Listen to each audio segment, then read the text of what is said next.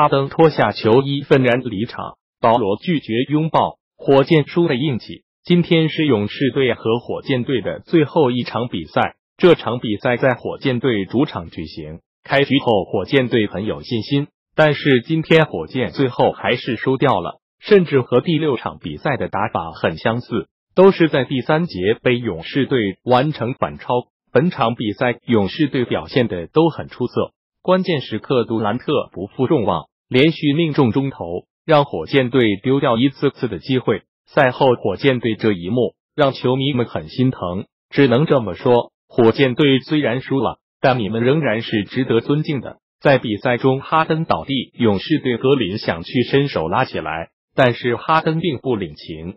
这就是西决，在场上的每一秒，我们是对手而不是队友。比赛结束后，双方球员也互相拥抱致意，但是我们并看不到哈登和保罗的身影。当镜头找到哈登时，哈登已经脱下球衣，失落离场。这场比赛保罗没有上场，实在是可惜。比赛过程中看到球队被分差拉大时，保罗也很气愤，还用手击打座椅。保罗想为球队付出更多，但是他的伤势情况让他无法上场。在保罗心中，还是有一种力量的，不会去和勇士队拥抱，并不充满恶意，只是我们输得很不甘心。火箭队走到现在真的不容易，明年再来，对于火箭队来说还有很大机会。勇士现在的阵容体系是联盟中最优秀的，德安东尼这个赛季的执教能力也得到认可。这场比赛十分精彩，感谢两支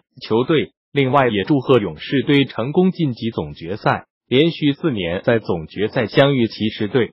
火箭队不要放弃，明年还有机会。好了。整场比赛已经落下帷幕，不管你是哪支球队的球迷，我们只有去尊重他们。这场比赛没有绝对的赢家和失败者。多年之后再回忆起来，原来他们是这么出色的球员。接下来我们一起来看总决赛的精彩对决。